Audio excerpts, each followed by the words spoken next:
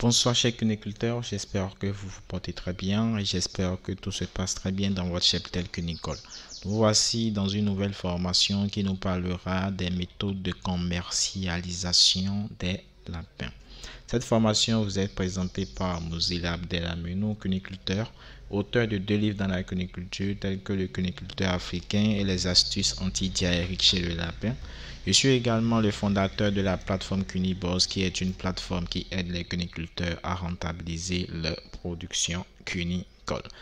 Alors, cette nouvelle formation qui est intitulée Les méthodes de commercialisation des lapins sera résumée en trois modules que sont le module 1, pourquoi la plupart des coniculteurs n'arrivent pas à vendre? Le module 2, les différentes préparations du lapin pour la vente. Et le module 3 qui parlera des méthodes de commercialisation des lapins.